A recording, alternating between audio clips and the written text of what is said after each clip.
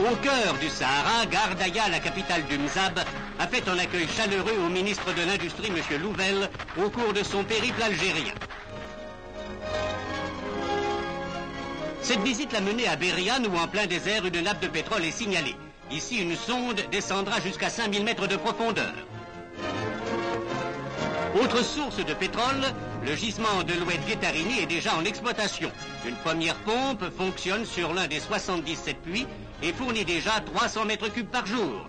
L'Algérie pétrolière, hypothèse d'hier, certitude d'aujourd'hui.